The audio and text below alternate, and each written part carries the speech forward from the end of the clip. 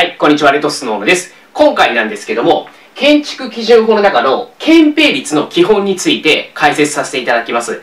憲兵率については、宅建試験でもよく出題される部分なんですね。で、理解していない人、まあ、非常にたくさんいらっしゃいます。で、また苦手としている人もたくさんいらっしゃいます。なので、まできるだけ憲兵率がどういったものなのか、え、理解していただくために、まあ、基本的な部分を今回解説させていただきます。まず、憲兵率って、まあ、どういうことなのかというと、敷地面積の中でどれだけ建築面積として使うことができるのか、これを数値化したものが憲兵率なんですね。なので、まあ、数字として表すために計算式があって、憲兵率は敷地面積分の建築面積。このように表すことができます。で、ここまで聞くとですね、また何を言ってるのかわからないっていう風な感じになるんですね。なので、ちょっと具体例を出して解説させていただきます。まず、100平米の敷地がありました。敷地っていうのは、建物として使う土地の面積です。まあ、今回、建物がこの赤い部分なんですね。で、これは、上から見ていると思ってください。敷地があって、これを上から見てます。上から見た感じですね。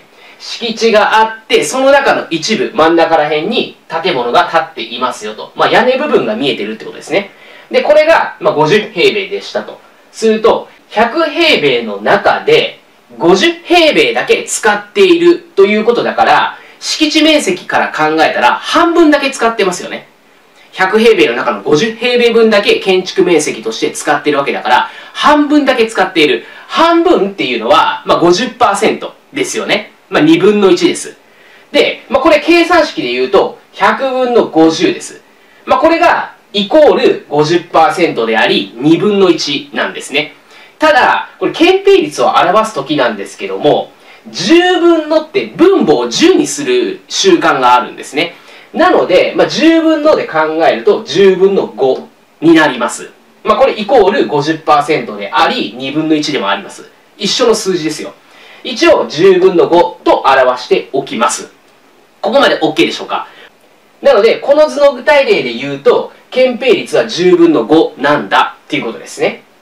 で、続いて、ここからルールに入っていきます。ルールがあって、用途地域ごとに都市計画で定められた憲兵率の数値があるんですね。それを超えちゃいけませんよ。建物を建てるとき、または建て替えるときですね。そういった場合、この都市計画で定められた憲兵率の数値を超えちゃいけませんよっていうルールがあります。例えば、低層住居専用地域で言うと、10分の3、10分の4、10分の5、10分の6と4つの数字があって、この中から都市計画で定めるんですよ。都市計画で定めるっていうのは、まあ、行政側が、この辺りの土地については、じゃあ憲兵率10分の3にしようかとか、まあ、この地域だったら10分の5にしようか、みたいな感じで、低層住居専用地域であったとしても、その地域ごとに数字が違うんですね。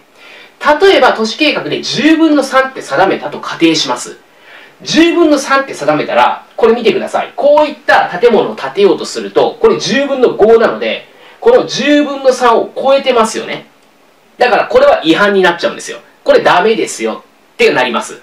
じゃあ、もし10分の3で定められているっていうのであれば、この建物っていうのは30平米にしなきゃいけないんですよね。建築面積を30平米って、まあちょっとちっちゃくなるんですけども、そういった建物であれば建築できますよって話です。で、一方でじゃあ、10分の5でこれ指定されていたと。ここ、低層住居専用地域と仮定して、ここの憲兵率は都市計画で10分の5って定められていたのであれば、これは OK なんですね。10分の5超えてないですよね。ぴったりなので、これは OK ですよ。違反じゃないですよ。っていう話です。これっていうのは低層住居専用地域だけじゃなくて、中高層住居専用地域とか、工業地域とか。でも、同じように数値を定めてきます。ただ、この選ぶ数値が異なってくるんですね。まあでもそこまでは、あの、覚えなくてもいいです。まあ今回低層住居専用地域は4つ書きましたけども、これ覚えなくても大丈夫です。問題に数値は出てきますので、まあ一応、えー、イメージとして覚えていただきたいのは、いくつか数字があって、その中から都市計画で定めてくるんだな、っていう風な感じでイメージできればもう十分です。ただし、一つだけ例外があって、商業地域ですね。まあ、商業地域っていうのは、ま駅前ってイメージですね。駅前の地域。そこについてはもう10分の8、憲兵率は10分の8ってもう決まっています。これは都市計画で決まってるんじゃないんですよ。商業地域だけ建築基準法でもう10分の8ってもう決定しているんですね。まあ、この点だけはちょっと例外的に注意していただきたいんですけども、まあ、その他の用途地域については、まあ、全て都市計画でいくつかの数字の中から選んできますので、まあ、ここだけですね、対比して頭に入れていただければと思います。なんで、まあ、今回頭に入れていただきたい部分で言うと、まず、憲兵率はこういうふうに計算できるんだなっていうところと、あとルールがあって、都市計画で定められた数値、まあ、商業地域の場合は建築基準法で定められた10分の8、まあ、これを超えちゃダメですよっていったことですね。まあ、ここをちゃんと頭に入れていただければもう十分です。で、もし、あの、計算が苦手な方いらっしゃると思います。で、この計算もこれできないよと、何言ってるかわかんないっていう方は、もうここはもう全然飛ばしてもらって大丈夫です。まあ、憲兵率の部分、出題されたとしても1問です。なので、数学から勉強していると、すごく時間がもったいないので、もうこの1点っていうのはもう捨てていただいて、その他の部分で勉強を進めていった方が効率的な勉強できますので、もうこの算数、数学がわからないっていうのであれば、もう全然気にせず飛ばしていきましょう。今日も最後まで動画をご覧いただきましてありがとうございました。宅建合格目指して一緒に頑張っていきましょう